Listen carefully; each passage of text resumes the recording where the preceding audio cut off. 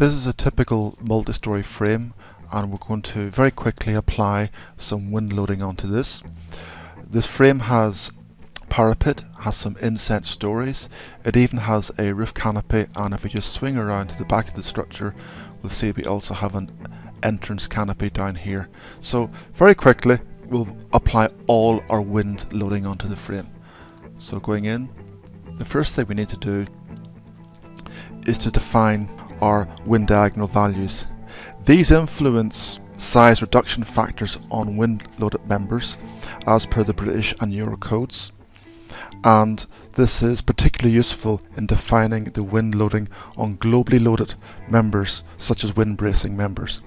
So we'll look at the size of the structure and very quickly we'll see that it's roughly about 20 by 20 meters. So if we choose a diagonal value of 25 and then just go for inclined members only and put this into a front view, I can very quickly just window all these members and the members are now all applied.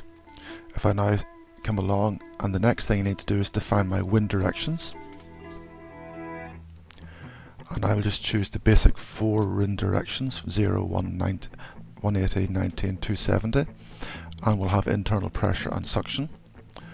We'll turn on a wind analysis and we will choose to use the directional method. The angle to north, if we put the building into plan, I can set my north to be at 45 degrees to the vertical. So if I turn on my axes and put in a value here of minus 45, we shall see our north pointing up there in that direction. We'll have a basement depth which doesn't carry any wind of 1.5 meters. We will use the standard dynamic augmentation factor and we will use the UK's SD factors. Coming back to this menu, we actually come back to the sim area because we want to now apply some wind loading cases.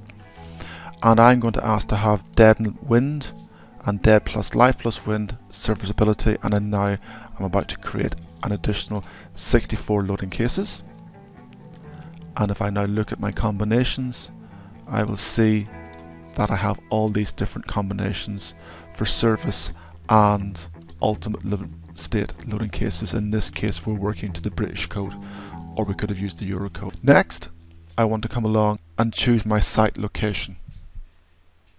We can work both to the UK GB site data or to the Irish site data. So here we would be able to choose somewhere like Galway in the south of Ireland. There we go. So now we're into Galway Bay. Or I can put in a national grid reference. In this case I'm going to move back to GB and I'm going to pick somewhere like Aberdeen. And these are great for getting you close to where you want to and then you can either yourself eye in where you want the building to be or you can again put in your northing and eastings or your national grid reference. It automatically works out the obstructions, the sea, town, country and topography for your building and outputs everything. In this case we will work for a 1 in 50 year building. Um, it's got all the heights of the building all automatically input. So that's nearly all of it done. I'll just exit from the wind analysis and come back in and we'll see now we want to start and do our panel bracing and our wind panels. So panel bracing, back into 3D and I'm going to define my panel bracing and if I just turn on my inclined members again and they will be all these bracing members as I don't have any real roof bracing and that's them done which means they don't get used for defining panels and makes it more accurate. And now I want to generate our panels. And again back out to full frame. And all I do is I just say automatic will have horizontally spanning. And I just say automatic.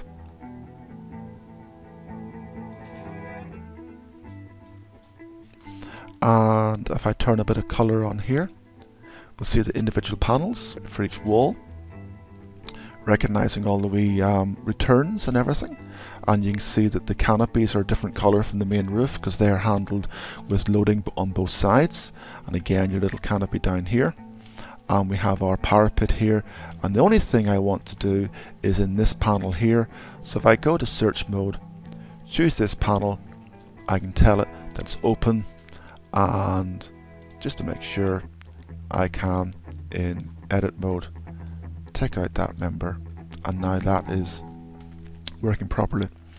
Now we have full access here to changing anything so for example if I decided that this roof panel is going to span vertically instead of horizontally I would just in search mode find that and I would then just tell it that it's going to span vertically spanning in a different direction and I just swing around I can see all my loading. So that's it done. If I just close out of here, just examine what I've got, I now look at my wind directions. So turn off all the extra values for a moment. Here's all our wind coming from the, nine, the zero degrees and we get our pressures and our suctions and naturally we get the pressure on the canopy. If we swing around we'll see all our suctions on our uh, leeward panels. Wind coming at 90 degrees and then 270 again pressure and our suction. So this canopy member is carrying the pressure that's on the underside of the wall as well. So it's taking that value and it's all worked out. Now if we come in and look at the values we can see our CP values that were taken on the on the members uh, we can see our 1.3s on our leading edges and we can see it tapering off to 0.9 on the trailing edges. And then we can also ask for the physical Q values. We can see 1.1 on our leading edges and down to 0.6, 0.7 on our trailing edges and 1 on our external edge of our canopy. And if we come back out we'll see this on all of them. And we can also just confirm that we've got the right panel definitions so we can see what it's chosen for the panels so that is how quick and easy it is to apply the panel wind loading on a complicated structure.